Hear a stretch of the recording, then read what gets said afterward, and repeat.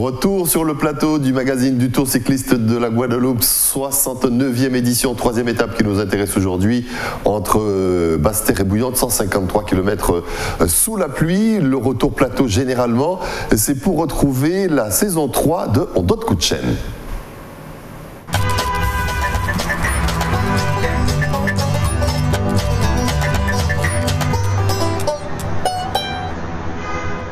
Comment tu t'appelles Coralie. Paul Gary. Mathieu. Sarah.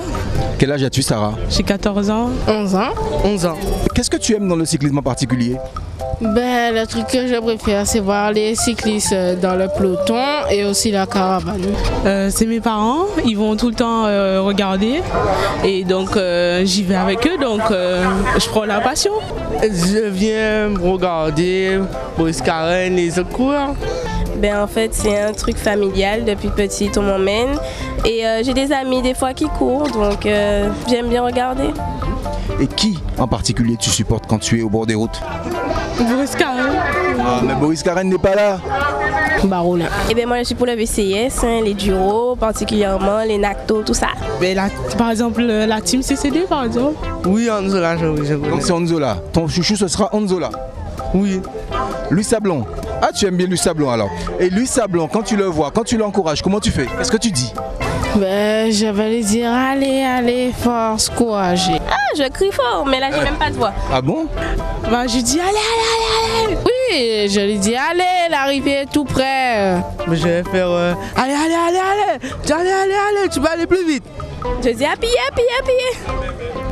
La caravane publicitaire, t'aimes pas ça toi hein? La caravane? Ben, je leur dis euh, envoyez-moi un truc, un t-shirt. Tu dis pas ça par bah, y a rien. Quand tu dis que tu aimes la caravane, tu aimes quand ils te donnent des choses, j'imagine. Oui. Et quand ils te donnent rien, t'aimes pas. Ben, je, je suis pas content des fois. Mais le but, c'est pas d'attraper des choses. Tu peux attraper euh, des porte-clés, des serviettes. Ben, c'est comme ça. Si, je dis bon, mon bitin.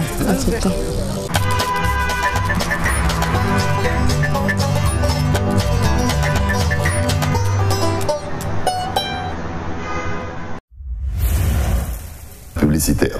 Ah, elle est imposante et elle, fait- elle se voit, elle s'entend et c'est vrai qu'elle est vraiment euh, très très courtisée, surtout sur la ligne d'arrivée. Ah, Il fait ça, bah, t-shirt à moi, un cahier, bam, bam, non, casquette. Ah oui, c'est C'est extraordinaire. J'espère que la caravane va être un peu plus étoffée l'année prochaine parce qu'il fut un temps où il y avait beaucoup, beaucoup de goodies, euh, beaucoup de cadeaux sur, euh, sur ces, ces- ces tours de Guadeloupe. Mais bon, là, vous savez maintenant, hein, dans, dans le contexte économique actuel, la, la première coupe, elle est dans le, dans le budget communication.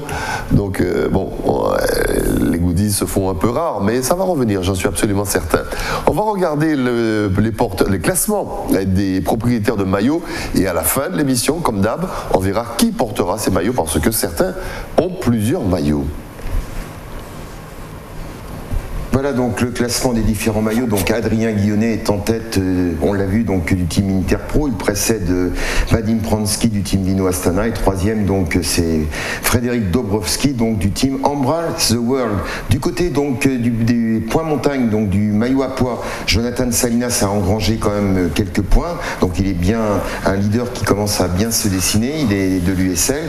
Il précède donc Adrien Guillonnet du team Interpro et Maxime Uritier, troisième du team Proimo.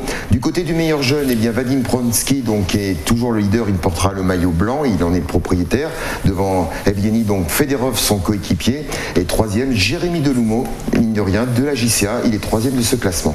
Ensuite, eh bien donc du côté du maillot Fuchsia, donc qui récompense le combiné, Adrien Guillonnet est en tête du team Interpro. Il précède Vadim Pronsky du team Vino Astana et Maxime Uriti est troisième. Il est du team Pro Imo.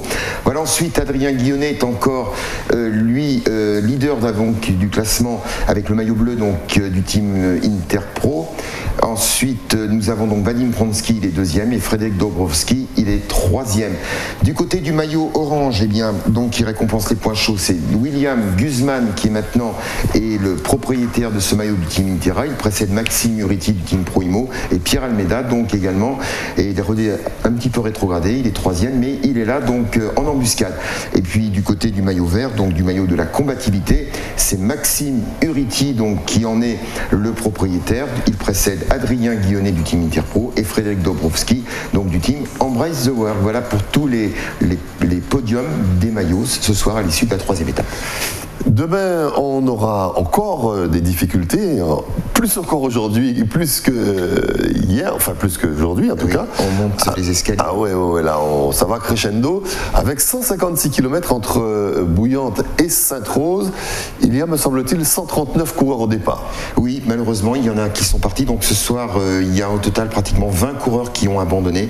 Donc en fait, il y en aura normalement 138 ou 139. Mais ce qui est sûr, c'est que le peloton, chaque jour, perd quand même pas mal d'unités. Eh bien, voyons ce qui attend donc euh, ces euh, rescapés du 69e peloton du Tour cycliste de Guadeloupe avec cette étape longue, je vous l'ai dit, de 156 km entre Bouillante et Sainte-Rose avec quelques difficultés. Et eh oui, on partira donc demain à 10h pour longer donc. Euh, toute cette côte qui nous attend, donc des paradiseurs devant la mairie. Et là, eh bien, dès le kilomètre 2, donc premier point montagne, ensuite on attaque Malandure dès le kilomètre 7, on attaque Gommier au kilomètre 19, ensuite ce sera Ferry-la-Coque au kilomètre 27, ensuite on va jusqu'à Dé, et là on va donc contourner la côte sous le vent, on ira donc jusqu'à Dé, et là c'est vrai qu'on aura déjà une idée un petit peu de la physionomie du peloton. On quittera donc euh, Sainte-Rose, donc l'on aura, et on redescendra donc tranquillement vers le Lamentin, on ira vers Bémao pour une nouvelle incursion donc dans la Grande Terre.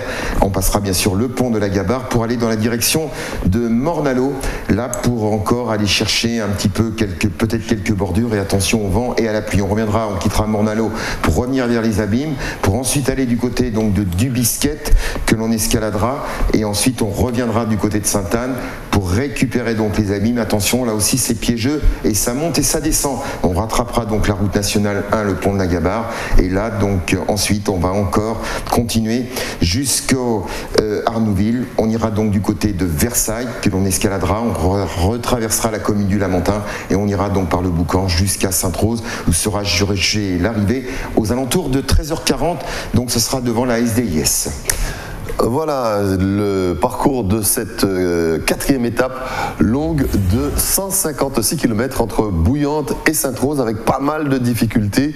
Euh, si vous êtes au rendez-vous demain, si vous nous faites l'amitié d'être au rendez-vous demain, eh bien vous saurez euh, quels sont les différents acteurs qui vont être au, pour revenir à l'horloge de cette quatrième étape qui s'annonce terrible. Déjà, on a un peu de fatigue hein, quand même. Surtout, généralement, les coureurs, j'en parle avec Thomas Vauclair, il y a, lorsque j'étais en France, il dit toujours le troisième jour, c'est parfois le pire. On rentre dans une fatigue généralisée. Soit on récupère, on passe le cap. Si on récupère pas, et donc demain, ça risque d'être terrible parce que quand on observe bien ce que l'on vient de voir, 4 points montagne en 25 km, 1 au kilomètre 2, 1 au kilomètre 7 et au kilomètre 17 et 27, croyez-moi, ça va faire des dégâts et si ça part vite, il y aura du grain à moudre ensuite. La météo sera-t-elle clémente? Ça, c'est encore une autre question. On annonce une vigilance orange, on va sur la côte sur le vent, donc attention à la pluie, au vent et ça risque de durcir la course.